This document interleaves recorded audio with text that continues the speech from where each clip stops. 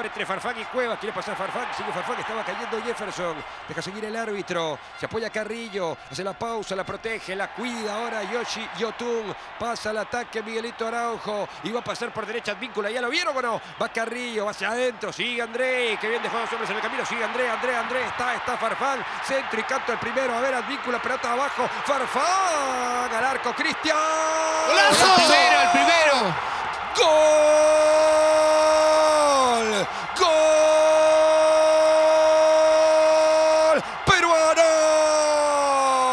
Cristian Cueva. En apenas tres minutos en el arranque del partido. La armó bien Perú por derecha. En zona de rebote estaba Cristian para clavarla en el arco del gatito. Sí.